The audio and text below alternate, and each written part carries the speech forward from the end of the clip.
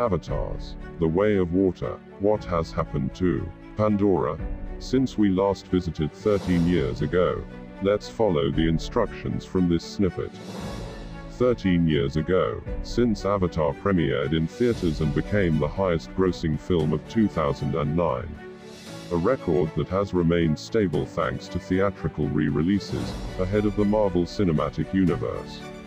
Today, we get our first look at director James Cameron's upcoming sequel, Avatar. The Way of Water. Like the first Avatar, this time, Avatar, The Way of Water, looks like a visual feast. And true to the title, there must be a lot of water involved. Were you? It's cool guys. Let's find out, what changed on the planet Pandora, since the last time we were there. And what might happen in the future. The first scene, we see in the Way of Water avatar is children playing among Pandora's green nature. Although things change at the end of the scene, from this point on. It seems to reflect the peace and well-being that happened to Pandora's world after the first Avatar. And here it shows, that Na'vi children seem to be playing with human children. Indicates that cross-cultural exchange is possible, and the occurrence of warm social interactions between the two dimensions. Namely, the real dimension and the virtual dimension. As well as reuniting us with the Na'vi. Avatar, Waterway, will introduce us to one clan in particular, the Metkayina, who live near marine reefs. We certainly sense here that there is a vibrant Na'vi community located near the water. We're used to thinking of the Na'vi as a hunter-gatherer society living in harmony with nature, but this trailer seems to show that things have changed. Maybe, they've taken some tips from humans on how to do their own industrial construction project, or they're more comfortable on the site than ever before. They also appear to be wearing military gear. It's possible they are avatars, Na'vi human hybrids operated by compatible humans, like Jake from the first film. Being amphibians allows the Na'vi to enjoy not only the view of Pandora above ground, but also to see the colorful coral reefs alive beneath the waves. We'd smile brightly too if we could do that. Is this young Na'vi one of Jake Sully, Sam Worthington, and Neytiri, Zoe Saldana's children? If so, it seems to have inherited Jake's talent for bonding with powerful creatures. One of the most memorable elements of the first Avatar is the symbiotic relationship that the Na'vi can form with the winged creature Pandora.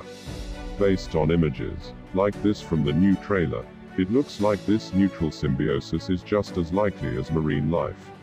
Is this young Na'vi one of the children of Jake Sully, Sam Worthington and Neytiri, Zoe Saldana? If so, it seems to have inherited Jake's talent for bonding with powerful creatures.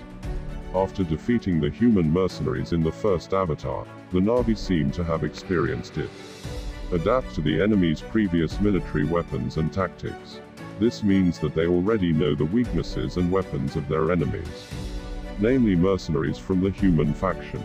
In this film, once again, the Na'vi group is shown as the main character. Or maybe this is the avatar used by the same mercenary. However, this is an interesting visual. Because, we also see, a human who fights with the bow and arrow of the Na'vi. Editing in the trailer makes it seem like this human attacking the Na'vi carrying weapons from the previous image. However, we are intrigued by this trailer. Perhaps it was the human child of Jake and Neytiri fighting alongside their Na'vi friends. Unfortunately, peace does not last forever. The closing minutes of the Avatar, Way of Water trailer, seem to show the Na'vi lining up for war again. They gathered in rows, each carrying a spear-like weapon. But here, the sea will become a battlefield. Na'vi bonds with animals can be life-affirming and satisfying, but they can also play an important role in war. We saw that in the climactic battle of the first Avatar, and it looks like the sequel will reveal more combat-ready combinations and pairs. Oh, you're so funny. Time to go back to Pandora. It's just, what happened in 13 years after. Disney released the first trailer for James Cameron's Avatar 2 the sequel to the sci-fi epic, which was the world's highest grossing film until Avengers, Endgame. We already know one thing, Avatar, like Fast and Furious, is all about family. When I am making films, working with the actors I think are most valuable, Cameron said. It's been an incredible adventure to explore Pandora again with our friends. Zoe Saldana, Sam Worthington, Sigourney Weaver, and Stephen Lang, not to mention the members our new cast, Kate Winslet, Cliff Curtis, and this incredibly talented group of teens, all quickly distinguished themselves in their roles. The footage consists of beautiful and colorful seascapes, underwater glimpses, shots soaring in the air, and lots of Na'vi. But the focus is on Jake and Neytiri's family. I know one thing, wherever we go, this family is our stronghold, says Jake, the only word that comes out of the entire teaser. Britton Dalton, Filip Geljo, Jamie Flatters, Bailey Bass, Trinity Bliss, and Duane Evans Jr. has been chosen to play a member of the Jake family and a member of Metkayina. Come on. Avatar 2 is currently slated to hit theaters this December 16th. Meanwhile, the original Avatar will be remastered and re-released in theaters on September 23rd. The director's James Cameron opens up about the long-awaited and awaited Avatar sequel. The director returns to Pandora with the first of four planned Avatar sequels, combining groundbreaking performance capture and his lifelong love of the ocean. What he wanted after making the world's highest grossing film of all time, breaking the record he had set. The director promised to return with not just one, but four sequels are planned. You? Looks like this movie is more exciting than Avatar 1, guys.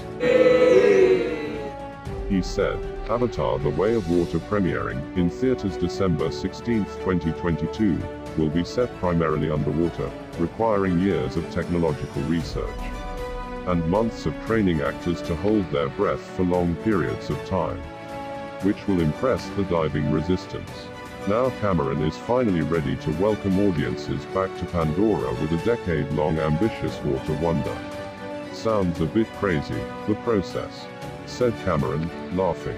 I mean, if Avatar didn't make a lot of money, we never would have done this, because it's kind of crazy. Listening to the filmmakers describe the journey of Avatar 2 making, a little crazy, sound like an understatement. Cameron began planning his own sequel in 2012, bringing in a team of writers in 2013 who helped decipher four stories that would span across Pandora's diverse geographies and continue the first film's story of humans versus nature. Avatar 2 filming, whose title has not yet been announced, begins in 2017, with a story set about 14 years after the original. Former human warrior, Jake Sully, Sam Worthington, and Na'vi warrior Neytiri, Zoe Saldana, have been completed down and starting a family, and much of the film centers on their prepubescent offspring. Ultimately, the sequel is a story about family, and it's a long one for parents to go through. To keep the family together, and keep them safe, said the producer, Jon Landau. I've always said that Jim's films have a universal theme. And really, there is no more universal theme than family. Avatars 2, mostly arranged in and around the oceans, introduces a new clan of reef-dwelling Na'vi called Metkayina. Landau describes the new tropical beaches and Pandora beaches as seaside paradises, Bora Bora on steroids. If the first film was all about tropical rainforests, with a cautionary tale about deforestation, a new backdrop, namely the sea, is the main attraction of this film. Titanic's director, has long advocated for marine conservation, and he completed a record-breaking trip to the bottom of the Mariana Trench in 2012. I wade deep into the ocean when I'm not making films. He said, but setting the story below sea level presents more than a few challenges. The innovative performance capture process designed for the first Avatar was not intended to work underwater. So, Cameron and his team had to devise a way to accurately record an actor's smallest movements and expressions while drowning. The footage was then animated by the artists of Oscar-winning visual effects company Weta Digital. Most of the show's shooting took place in the 900,000-gallon tank, which made especially for the sequel, can mimic the swirling ocean currents and crashing waves.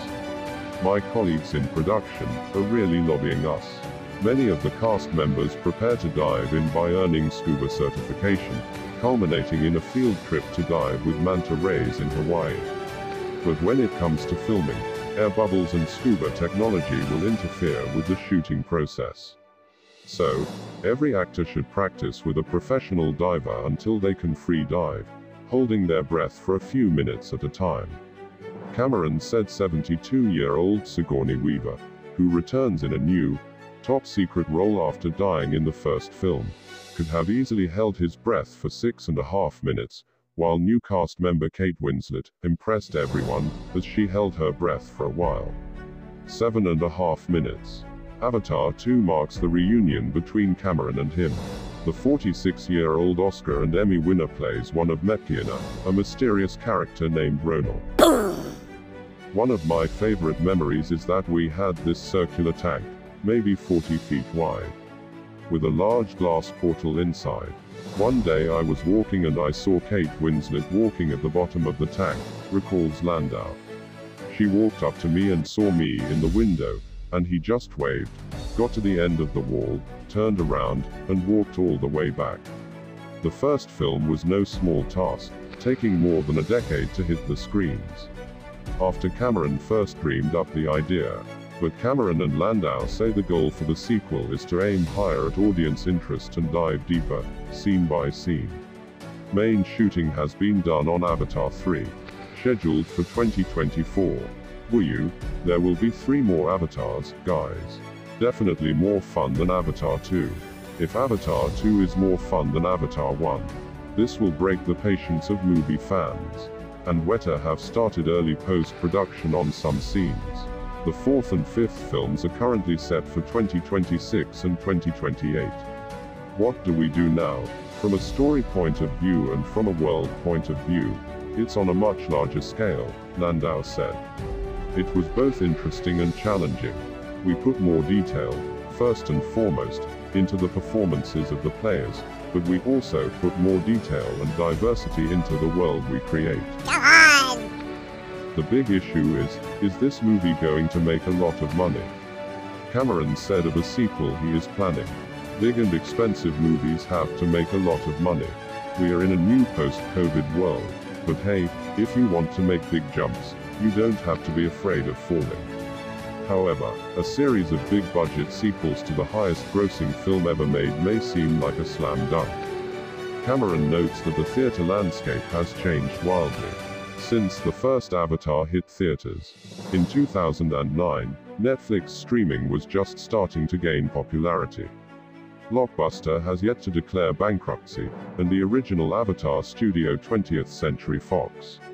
Still many years to go for Disney to absorb.